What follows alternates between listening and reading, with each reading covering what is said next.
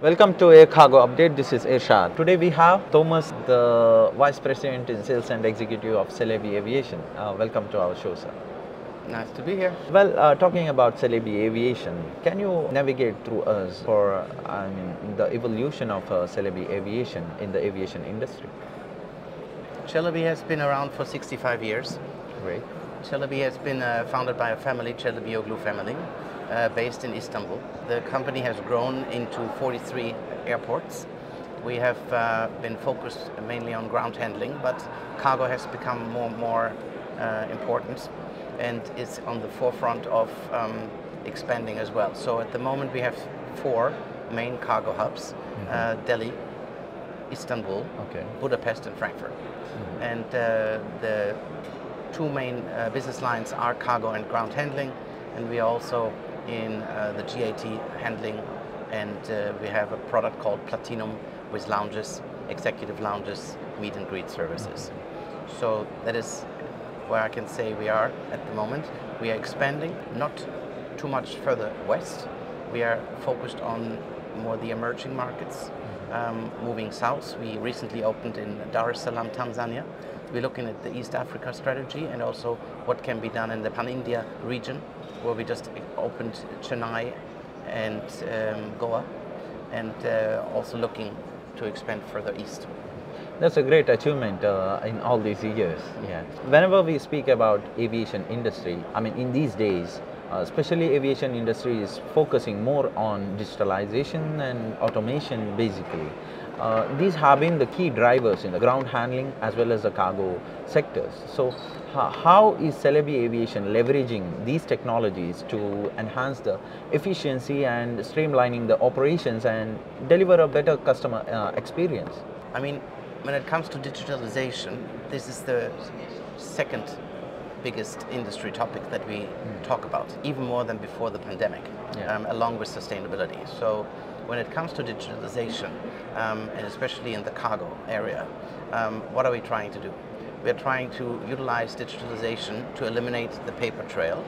We are using digitalization in our planning and real-time rostering of our of our people. So we use it in the operational warehouse management, and we're using it in the flight data management. Uh, so in all these areas, um, has already implemented some new technologies. For example, introduced Checkit, which is a solution from Nallian for uh, digital checklists. Um, in the build-up process of ULDs, we make sure that um, with these digital checklists, um, the cargo pallets are, you know, fit to fly. We also have a truck slot management system where the drivers can get in contact prior to arrival and their trucks is already registered uh, when they arrive to the gate. We have also come up recently for both ground handling and cargo with um, our global operating manual and um, they, these are available for each employee on their mobile phones. Okay. And finally, more important is the cargo cell implementation. That's basically standardizing um, how our cargo um, IT solutions are being handled. And Cargo Cell was an important um, implementation across all our cargo hubs, and you can compare it with the car manufacturing line. So you standardize the production line for the car, but when you get your personal car, you get it customized to exactly how you need it. Yeah. And that is exactly how Cargo Cell was being implemented. It was a standardized IT solution, but we were able to get it customized to our needs on how Celebi utilize it. So those are just some some um, examples. Also, track and trace uh, solution um, has been done. So I think we have pioneered quite a bit in the world of digitalization to be along the uh, change makers. that's a great feat to reach there because yeah as you said whenever we speak about any new technologies being implemented in the industry or a company it should not be in, on the creamy layer but it should also be uh, in the bottom side. I mean like uh, every staff needs to adapt to the new technologies or the systems whichever is coming. So how about celebi aviation? Is it uh, is it training its staffs? I mean from the ground from the bottom of the company till the upside how it works in celebi aviation? Celebi has the first IATA-based training academy. So we are able to train our people in our own classroom settings, um, virtual reality um, training, on-the-job training um, for the ramp workers, to have a virtual reality training on how it is to work under the aircraft, for example, and it allows us, and we are really proud of it, it allows us that we can first go and see how we can recruit from within. So this starts with um, giving multi-skilling to the employees. During COVID times, that was very important because people were leaving the industry and we Yeah. needed to have one person doing the job of three people. Yeah. Um, as there wasn't that much work to do. So this multi-skilling was something how we trained our people across the lines and that helps us a lot. But it also gives the plan opportunity to the employees to rise in their current responsibility to achieve career paths. And um, not surprisingly, um, our president been in the company for the last 25 years. And uh, another senior executive, um, he's in the company for 31 years. And that is the loyalty that I have seen since I joined Celebi, that um, focus on employee engagement and um, training that you say um, is one of the major focus areas for the company. That's a great thing for a company to hold on. I mean, not all can afford to have a training academy separately uh, within a company, and Yes. and uh, you have achieved a great feat uh, in that terms. Yeah, Celebi Aviation is always known for its expertise in the cargo, uh, as well as there are warehouse operations, as uh, we learned about Celebi Aviation. Uh, with the growth of e-commerce and the increasing demand uh, for the express and special cargo services, how is Celebi Aviation adapting to meet the evolving needs of the cargo industry? I mean, as I mentioned, we have four main cargo hubs where we operate our own warehouses. And I think the most important part is that we have, um, you know, reliability and efficiency in the cargo operations in the warehouse. That is why I, I already mentioned um, Cargo Cell as an important implementation um, uh, to also make sure that all of our warehouse operations are IATA certified. Yes. It comes with the operational efficiency, um, and it then comes with the uh, stakeholder collaboration that when we are implementing a new feature, a new technology, a new system, that it is being followed by all of our employees. We also make sure that we have a proper CRM module applied. We're using Salesforce, um, and we combine that with um, our um, other system called Icarus to just make sure that the system integration CRM uh, tool really works with the other technology that we are using. So in the in the cargo operations itself, I already said um, we are trying to constantly make the operation more efficient, and we're doing that with truck slot management. We're doing that with a track and trace application um, to really trace the cargo, um, you know, to the panel destination. And uh, Cargo Cell is the IT solution that I already mentioned.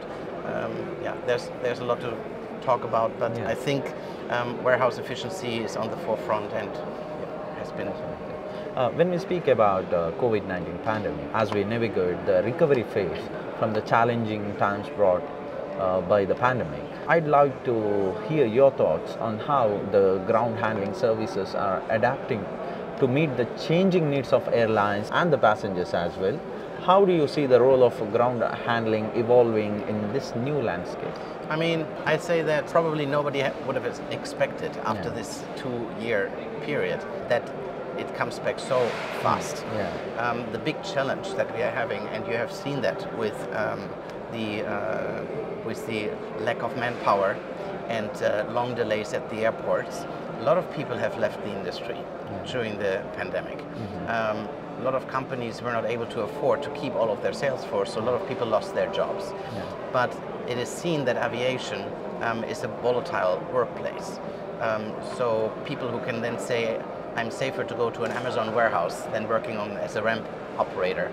Um, so it's not, it's not easy. So now we need to make sure as an industry that we really can attract the people to really make them understand this is a um, good place to work um, with longevity and it's not a volatile workplace anymore. We need to learn from how we dealt during the pandemic that um, any pandemic is going to um, eventually come and end. And um, what happened here is we um, had quite a long period uh, and we are still with manpower shortages. Um, and we also need to retrain everybody. Uh, so we need to really think when we are running into the next pandemic that may come, um, how we deal with it, how the association as ASA communicating and how IATA um, is communicating with the industry of what the ground handlers, what the airline should do uh, in order to make sure that when the period ends and everything comes back to normal, um, that we can actually, you know, pick right up where we left off. So this is, uh, I think, we need to learn from this experience. Yeah. When we speak about the issues we, what you raise now, like workforce uh, management or be it the shortage of staffs, shortage of pilots, uh, all these things. How do you think at this moment of time the aviation industry is actually trying to overcome the issue? I mean, of course, the big challenge is that um, some airlines have the best years um, since their existence. That is because the people were fed up to sit at home Yeah. and they just wanted to go away again. That's why there's an even higher demand in uh, travel than there was before. That, of course, is a big challenge while we are still trying to recruit and Yeah. put the people back in their jobs. Yeah. So the only thing we can do at the moment, we can only make sure that you know the relevant jobs are being filled by attracting them with you know attracting salary packages. Let's say um, you know sure that the security on the job is given somehow, and we need to find an industry standard on how the people can be sure when they come in that um, it's a secure place to work, even if there's another time of pandemic coming around. Um, nowadays, everybody wants to have some kind of security, you know, and to make sure that my job is still there tomorrow. Yeah, yeah. So um, I think a lot of people lost that trust during this uh, during this period, and that just cannot happen again. Yeah. So basically saying that aviation industry needs to uh, retain the people, uh, retain the trust of the people upon itself. Yeah. Yes, especially because look, what happened? Um, we could react fast Yeah. with the airline cargo logistics during the COVID period.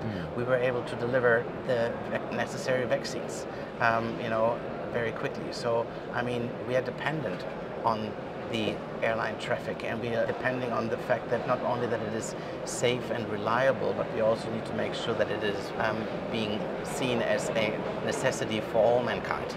And uh, that's why to put the right industry st- stakeholders and have it across the supply chain, um, you know, uh, make sure that there is, uh, you know, there's a real stakeholder collaboration um, by all involved to ensure that um, we maintain a good and reliable airline network.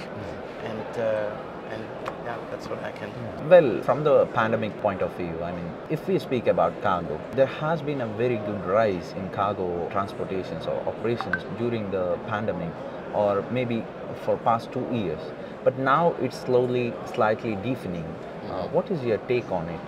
Well, I think it is not uh, surprising. I mean, there was a need um, where the uh, where the, the whole supply chain came to stop, Yeah. um, where we basically had to figure out where to, to get manufactured goods from, as China didn't open up for a very long time, mm. and we all were relying so much Yeah. on the Far East. I mean, especially for China, I think we are only going to come to maybe 80% by the end of this year, before maybe by the end of next year we're coming back to the normal levels. I think the e-commerce is starting with the mobile phones and electronics, but I think on the perishable side that is still going to take another year to come. Yeah. So, um, but I think that we are slowly coming back to normal, that we're slowly coming back to the demand as it was before the pandemic is not really that surprising. So I think we just need to um, realize that there was a, um, yes, hike during these two years to deal and, you know, in these unusual times and also completely different, um, we talked about the vaccine, but there were a lot of other commodities that needed to be shipped and that needed to be shipped fast. Um, and the airline cargo industry was, of course, dependent on it because you know that a lot of belly cargo also went up to the cabin cargo. So um, we also had to make use of, of, of that. Yeah, that's the point you made. Now, I'm curious to learn how does the Celebi Aviation fosters the collaboration with the airlines, with the airports and uh, other stakeholders to deliver its uh, cargo services. Can you share some examples of that? Well, I mean, when it comes to the airports, we need to make sure that the infrastructure is there. Yeah. Um, it's a constant struggle. I mean, Frankfurt is an example. We had, um, we are in a fortunate situation that we have um, three main customers: United, Turkish, and uh, LATAM, and uh, among several smaller airlines. We are in a fortunate situation that we have a network of stations, and we have a network of airlines that we work with, and naturally we receive additional RFPs and tender requirements. And it's very hard for us to say because of capacity constraints, we cannot grow. So our plans need to be communicated with the airports. There needs to be a close co- collaboration, and in this case with Fraport, for example, to make our needs known, how we want to increase, how we want to expand our footprint, and to make sure that the airport expansion projects are in line with um, the needs of the ground handlers, be it additional warehouse space or you know however the plans are being done. So the good collaboration with the airports, also for the office needs and you know for the right infrastructure inside the airport, is important to offer a smooth operation um, and give a good customer experience. Um, if we don't have the required space available, either we cannot serve the airlines. If we don't have enough check-in counters, we're not, you know, we are causing huge lines during the passenger check-in area. So all these things need to be considered when the airports are planning their space capacity and what they're offering to the ground handlers, because that's our workspace. Yeah. Uh, for that, uh, do you think the digitalization of airports will help uh, uh, countering these issues? Well, I hope so. I hope so. It could be that uh, you know that there's a different kind of approach, um, but there needs to be a good stakeholder collaboration in terms of how the airports and the airlines and the ground handlers are talking to one another. yeah. This is why we as ground handlers are very close to um, the airline association now to make sure that the association hears about our issues, um, that we understand how we can liaise with the airlines, with the airports, to make sure that we are heard and that we are given the chance to speak up. And as we are all looking um, at the same industry topics, airlines may be required to purchase green certificates. And you also probably want to ask me something about sustainability. So we are very much focused on sustainability. Um, it's our LEED certification for at our um, buildings. Uh, we introduced a whole fleet of only electric cars at Istanbul New Airport. Okay. So the entire car fleet was changed from diesel to electric. We have a plan for the next five years to roll out and to ensure that we're not buying any further diesel equipment. It's all going to be electric. And very recently in Delhi, we have introduced 10 apron buses, all electric. But that also ca is an issue if the airport infrastructure doesn't allow us to actually um, charge um, The- the equipment. uh, yeah. So that needs to be something that needs to be done with the airport planning um, to allow us to operate these, you know, uh, electronic vehicles. Yeah. Uh, how do you think uh, these e-vehicles will uh, change the market demand? I mean, in uh, as you said now, uh, some airports doesn't have the system uh, to charge the vehicles, or it's not in a position to allow uh, things go happening as as uh, automation and e-vehicles coming into the. Uh, I don't think that they, I don't think that they they we have the luxury to, to basically say um, if it's a what if uh, we come we, can we don't have that luxury. We need to think about the environment. Yeah. We need to make sure that we focused uh, continuously focus on the sustainability topics, and that's why at all the conferences yeah. from World Cargo Symposium to Air Cargo Europe last week, um, you know, to the panel here, um, this is uh, one of the main topics that we need to follow. And I think every ground handler is probably going to have a plan um, on sustainability um, for the coming years. How soon they're going to convert all their diesel equipment to the electronic equipment. The suppliers need to obviously be ready for what's coming. It's for the high loaders, it's for the apron buses, it's for the ramp cars. Um, we need to make sure that um, the you know GSE equipment park is properly equipped electronically over the coming five to ten years Yeah. fully, and we need to make sure that the airports are uh, with us and are giving us that opportunity. Uh, but uh, when you speak about sustainability, uh, is the e-vehicles or e-system is the only alternative? Is there no uh, other things coming into the market, like, for example, to say uh, the hydrogen things and Oh, furthermore? I'm not an expert on exactly what Yeah. uh, thing, but we basically said like you know let's reduce our carbon footprint. Yeah, So that- that's basically that's what we are trying to do.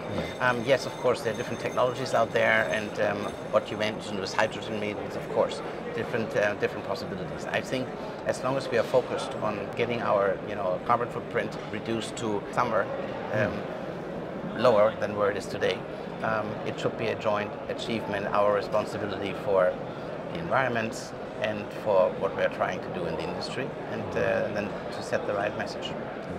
Uh, so finally, uh, the future of ground handling holds exciting possibilities. And in your view, what are the, some of the key trends or innovations that will shape the industry's future? And how does the Celebi Aviation preparing itself to stay in at the forefront?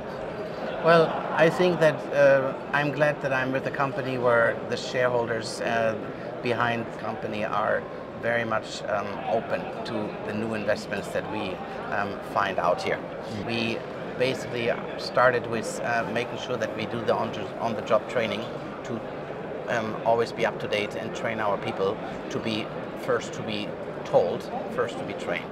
Um, I think it's important that we follow the trends in the digitalization, um, leading also to artificial intelligence to make sure what's coming. Uh, because there's a lot right now for us to say, let's eliminate the paper trail. Yeah.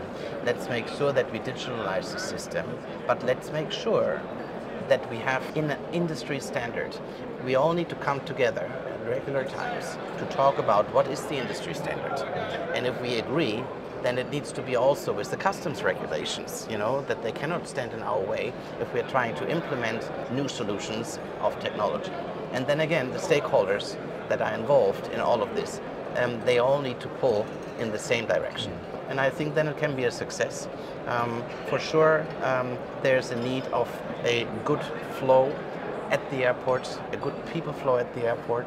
So we need to, um, you know, have the right technical solutions. And as I mentioned, I think artificial intelligence for everything, face screening, everything will come um, to just make it a seamless process um, at the airport.